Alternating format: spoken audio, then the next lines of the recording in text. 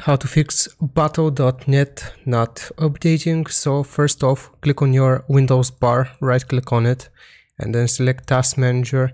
Basically, we want to make sure that every single instance of battle.net has been closed. So select the first one you see and then click on End Task. Repeat the same process for every single battle.net you see. Okay, now it should be closed. After you have done this, all you have to do is press on your computer search again on the Windows bar and here search for run. You want to click on the run app. Here write this command percentage program data percentage and simply click on OK.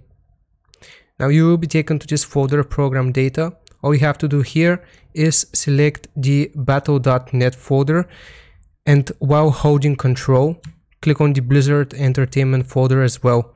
And while both of these are highlighted, all you have to do is right click and delete.